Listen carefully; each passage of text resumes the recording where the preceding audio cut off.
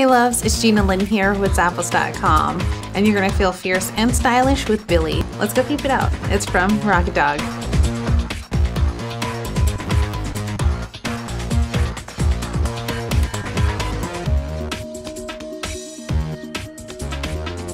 This boot is absolutely gorgeous, you guys. I'm really thinking about getting it for myself. It's gonna go perfect with a pair of skinny jeans.